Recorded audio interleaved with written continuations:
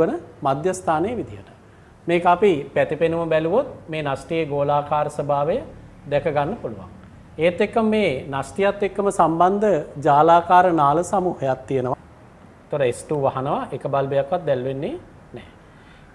ඊළඟ අවස්ථාව මම මේ දෙකම මේ විදිහට සංවෘත කරනවා. දැන් බලන්න ඔබට ඉතා පැහැදිලිව පේනව ඇති L1 සහ L2 බල්බ දෙකම දැල් වෙනවා ඒ වගේම L1 අඩු දීප්තියකින් සහ L2 වැඩි දීප්තියකින් ඊළඟට අපි බලමු ඊළඟට මේ හෘදය තවදුරටත් කපනවා. තවදුරටත් විච්ඡේදනය කරාම අපට දකින්න පුළුවන් අඩසඳ කපාට, ද්විතුණ්ඩ කපාටය සහ ත්‍රිතුණ්ඩ කපාටය. හොඳින් බලන්න මේක මම දානවා මේ සෝඩියම් හයිඩ්‍රොක්සයිඩ් කියන භස්මය තුලට බින්දු කිහිපයක්. බලාගෙන ඉන්න මේකෙදී සිදුවන වර්ණ විපර්යාසය එතකොට අපට දකින්න පුළුවන් මේකෙදී මේ ආකාරයට යන් මේ විදිහට දකින්න පුළුවන්. ඒ වගේ මට පුළුවන් මේක මෙහෙම හරවලා ඕගලන්ට මේ ආකාරයට පැහැදිලි කරලා දෙන්න. එතකොට මේකේ මිනිස් අස්ථි පද්ධතියේ පිටුපස පෙනුමකදී අපට මෙහෙම දකින්න පුළුවන් වෙනවා.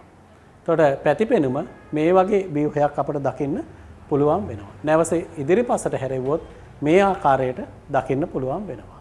ඔබට පැහැදිලි ඇති පළමුවම පූර්ව මහා ශිරාව සහ අදර මහා ශිරාව ඔස්සේ පැමිණෙනවා රුධිරයේ දකුණු කර්ණිකාවට. එම රුධිරය ඊළඟට ත්‍රිතුණ්ඩ කපාටය හරහා පැමිණෙනවා දකුණු කෝෂිකාවට. එතකොට එම රුධිරය ඊළඟ අවස්ථාවේදී ගමන් කරනවා පුප්පසිය දමනිය ඔස්සේ දැන් ඔබට ඉතා හොඳින් පේනවා ඇති. මා නැවත මේක නවත් මේකේ තියෙනවා මේ හිදෙස තුලට තියෙනවා.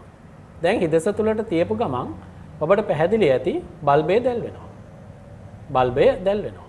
දැන් ඩයෝඩයක් තුළින් එක් දිශාවකට පමණයි ධාරාව ගලන්නේ.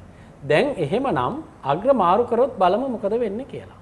දැන් මම අග්‍ර දෙක මාරු කරපු එක විතරයි කරේ බල්බය දැල් වෙන්නේ නැහැ. අන්න මේ රූපය මට පුළුවන් තව ටිකක් ලොකු කරන්න. දැන් මේකේ ඔබට පේනවා ඇති කර්ණිකා ඉහළින් සහ කෝෂිකා යුගලයක් පහළින් දකින්න ලැබෙනවා.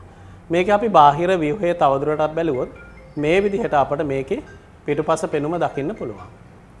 අභ්‍යන්තර කෝෂිකා බිත්ති, කර්ණිකා බිත්ති, කපාට ආදී සියල්ල දැක ගන්න පුළුවන්. ඒ නිසා බලාගෙන ඉන්න මේ හෘදේ ව්‍යුහය මේ තියෙන්නේ වම් කෝෂිකාව පිට දෙකම සංවෘත අවස්ථාව. දැන් ඔබට පැහැදිලි ඇති S1 හා S2 ස්විච දෙකම සංවෘත කළ කළ විට L1 අඩු දීප්තියකින් දැල් වෙනවා. ඊළ සාකච්ඡා කරන්න තියෙන්නේ අපි ඉස්සෙල්ලාම් බලමු මේ මිනිස් හෘදයේ ව්‍යුහය සහ මිනිස් හෘදයේ පිහිටීම පිළිබඳ මූලික අවබෝධයක් ලබා ගන්න. මේ මිනිස් හෘදය පිහිටනවා ඔබට පැහැදිලි ඇති මේ තියෙන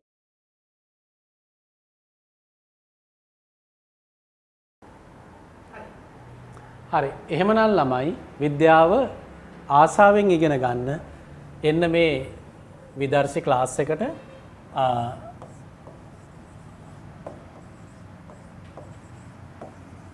අසිරිමත්